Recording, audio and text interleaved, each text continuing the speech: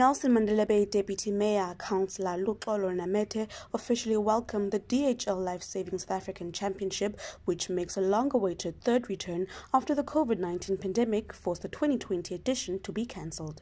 The eight day event, which is set to take place from the 2nd to the 9th of October, will see over a thousand competitors from over 30 national clubs competing in more than 500 events over the week. We are happy as Nelson Mandela Bay to host, to host such a competition because we know that uh, under COVID 19, uh, people lost their jobs due to COVID 19.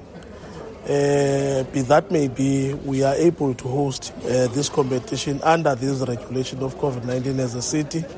And we are happy because we will make a success out of this uh, uh competition.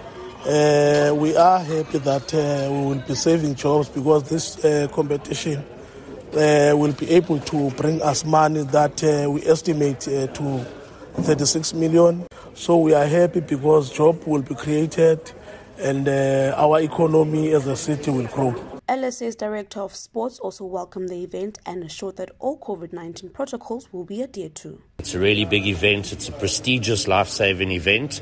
Uh, it's the 2021 DHL Life Saving National Championships.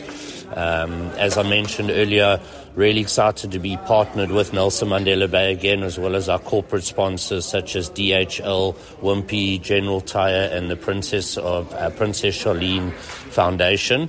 Um, uh, second to that, I can reassure you that all uh, COVID protocols and safety measures have been put in place in order to run a successful event without any um, any safety issues.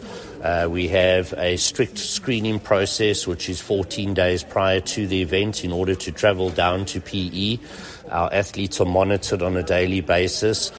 Our athletes come from all over the country, so we have a number of life saving clubs attending from Western Cape, from KwaZulu Natal, Eastern Cape, Northwest Province, Gauteng, and Free State. The championship will be taking place at Kings Beach and Newton Park Swimming Pool.